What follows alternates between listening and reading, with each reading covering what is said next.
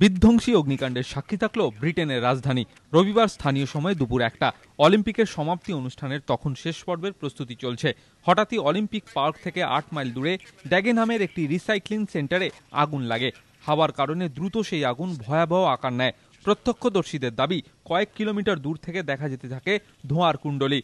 London জুড়ে অলিম্পিকের সমাপ্তি অনুষ্ঠানে ব্যাঘাত ঘটার আশঙ্কা ছড়িয়ে পড়ে। তৎপরতা শুরু হয় প্রশাসনিক মহলে। ঘটনাস্থলে আসতে থাকে দমকলের একের পর এক ইঞ্জিন। পৌঁছয় দমকলের চল্লিশটি ইঞ্জিন। মোতায়েন করা হয় দুশো দমকল কর্মী। আশেপাশের এলাকা থেকেও আনা হয় দমকল কর্মীদের। পরে অলিম্পিক সংগঠকদের তরফে জানিয়ে দেওয়া হয়, এই অগ্নিকাণ্ডের কোনো প্রভাব পড়বে না অলিম্পিকের সমাপ্তি অনুষ্ঠানে। সবকিছু হবে পরিকল্পনা মাফিকই। এদিন লন্ডনের ফায়ার কমিশনার রন ডবসনের দাবি, সাম্প্রতিককালে এত বড় অগ্নিকাণ্ড লন্ডনে ঘটেনি। তবে কী কারণে এই আগুন লেগেছে তা নিয়ে নিশ্চিত করে কিছু জানাতে পারেনি দমকল। জানা যায়নি অগ্নিকাণ্ডের ক্ষয়ক্ষতির পরিমাণও। এবিপি আনন্দ।